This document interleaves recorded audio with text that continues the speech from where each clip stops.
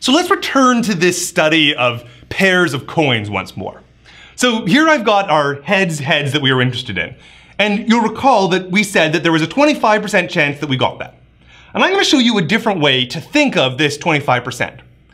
The first is that there's two real stages. We've got a first flip that has a 50% chance of being a heads, and we have a second flip, which also has a 50% chance of being heads because they're unrelated. Whether the second flip is a heads does not depend on whether the first flip is a heads. So we've got these two different 50% probabilities. So this one here I'm going to say is going to be a 0.5 or a 50% probability. And that this one here is going to be a 0.5 or a 50% probability. By the way, I don't mind whether you write it as a decimal 0.5 or whether you multiply that by 100 and put a percent in there and call this 50%, whichever is more convenient for you. And then I want you to notice the following fact. If I multiply a half times a half, I get a quarter, which was the answer that we previously claimed. In other words, somehow multiplying the 50% times the 50%, or a half times a half, that gives me the quarter, or the 25%, which was the correct answer. So to compute the probability of it going heads heads, I just multiply the probabilities. So let's do this for one more coin. Let's go for what's the probability that I can have three coins in a row all being heads. Well, 50% for the first, 50% for the second, also 50% for the third, so I can come along and put one more 50% down there. And half times a half times a half is one eighth. Okay, I could carry on. I could go and say, well, let's look at another coin. Uh, there's going to be a 50% chance that the fourth coin is going to be a heads as well.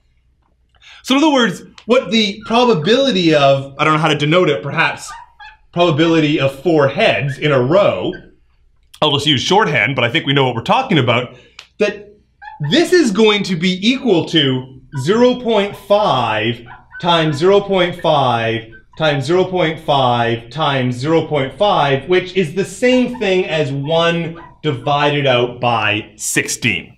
Or in other words, a half times a half times a half times a half, 2 to the power of 4 is 16, hence the 1 16th.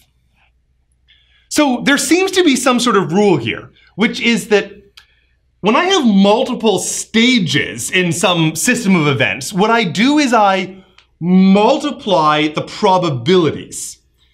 And that the probability of having four heads in a row is therefore the probability of an individual head multiplied four times. Now, this is going to generally be true as long as I have so-called independent events. And what I mean by that is that the probability of the heads rolling on the second or the third or the fourth or so on stages, that doesn't depend on my results previously. The outcome of flipping a coin only depends on that one coin flip. It doesn't depend on any prior coin flipping that we may have done. And therefore, we're going to say that for a fair coin like this, that the, the flips are all independent. Their probabilities don't depend on each other. And in that scenario, we're going to have the multiplicative rule that for independent events, we're multiplying the probabilities for every level. Let's use this same structure of four different independent events, but for a different problem. I'm going to investigate what happens if I want to study the probability of guessing a four-digit numeric PIN code. We all have these on our different bank cards and so forth, but how hard is it to actually guess one of these numbers?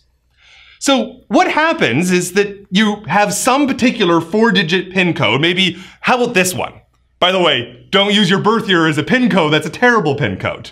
But the point is that there's some digit between 0 and 9 in the first one, some digit between 0 and 9 in the second, some digit between 0 and 9, and some digit 0 and 9 in each of those four things. So what's the probability of me guessing just the first number of your pin code?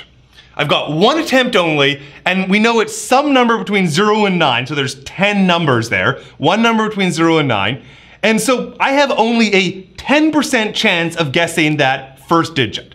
So for the, for the first one, I'm gonna write down that we've got a 0.1 or a 10% chance of figuring out that first digit.